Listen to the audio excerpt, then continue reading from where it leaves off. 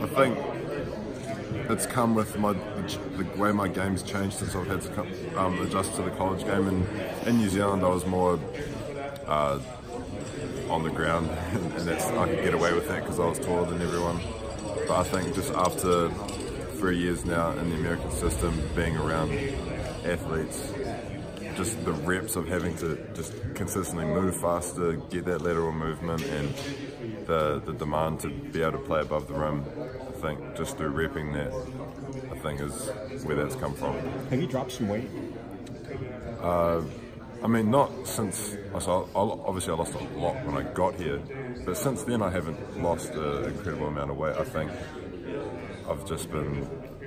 I think maybe I've stayed the same weight, but the ratio of you know muscle to fat might be better, I suppose. How does practice change from you, for you right now, having those extra big bodies there with you?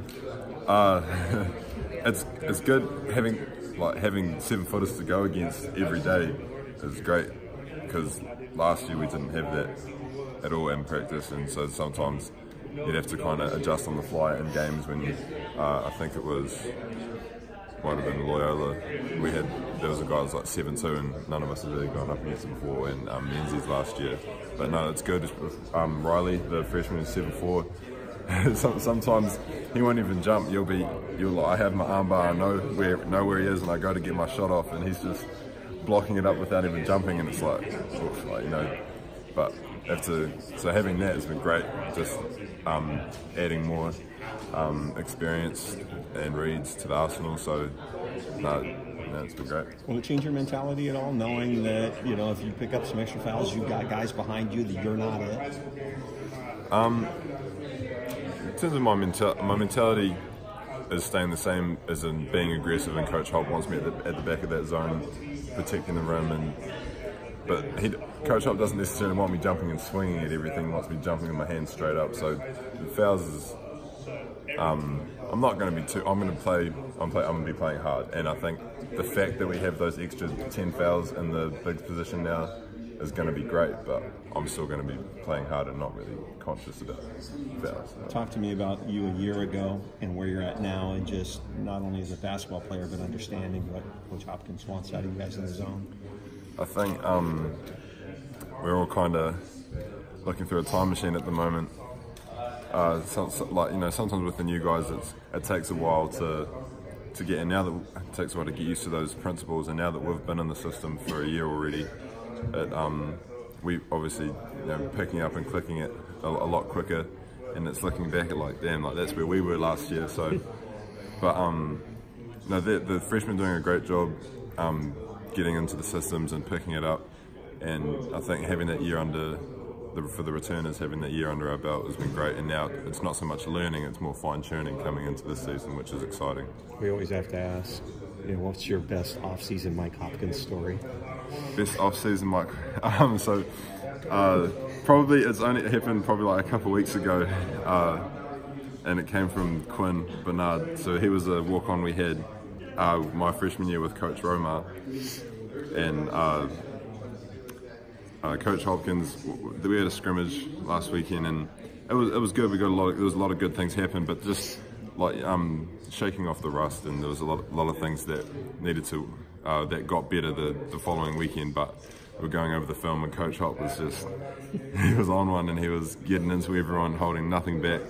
And from you know Coach Rome was a reserve guy, and so from Quinn not playing last year to coming back on the team this year, it was his first dose, his real dose of Coach Hopkins, and he just came up to me and was just like, "What was that?"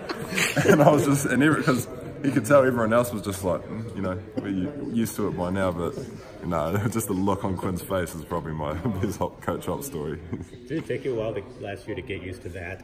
Uh, um, you know, firestorm of uh, Coach Hopkins. Yeah, no, it did, and because I've heard stories of uh, really intense college coaches like that, but a lot of the times it's like how it's, it's weird for for some reason. Like Coach Hopkins, he'll be like in the middle of one of those things. He'll be getting at you and getting at you, and then all of a sudden, like mid, he'll switch and just be like yelling at about how good everybody is. so it's like, yeah it's weird. It's like you don't really feel attacked as much. Mm-hmm. It's like it's a positive thing, which getting yelled at really intensely can be hard to seem like that sometimes. But he manages to do it, so hats off. And you know it comes from a place of like, Exactly. love. Like you, you, you, He's- he's you never feel like he's trying to like hurt you or insult you or anything. It's always productive, and so that's kind of makes it easy to sit through those sessions sometimes. And speaking of a 2 3 zone, what is it that you can bring to that 2 3 zone?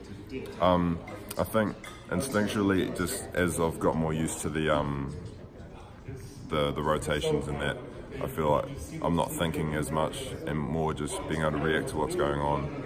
So I got that experience under my belt. Also, being a physical presence around the rim, uh, being able to bother shots and contest, rebound in there. So, I mean, that's that's basically where I'm at with that at the moment. And even though this is, you know, the off season, what's the biggest difference between year one and year two? Uh, for me personally, or Yeah, yeah. just uh, like I said, I'm not out there thinking X's and O's so much anymore. Now that that's kind of been ingrained, uh, obviously, always want to work on the fundamentals and stuff. But now it's getting to the point where I, I know where I have to be, where the ball is, where it is on the court, and now and now it's more looking for those reads and. Uh, th those like off offenses and the way they try to go against us, how I can combat that. And you guys have a lot of expectation going into the season and so fast, like from year one to year two. Yeah. How do you guys temper those expectations and just go out and play? The one thing Coach Hop hammers home is we haven't done anything yet. Yep. So, uh, in terms of expectations, we haven't we haven't set ourselves any expectations other than everyone's going to. Bottom line, everyone's giving 100% effort. Everyone's working to get as, to be as good as they can be for the team, and wherever that leads us will be a product of how hard we work. Thanks, Sam.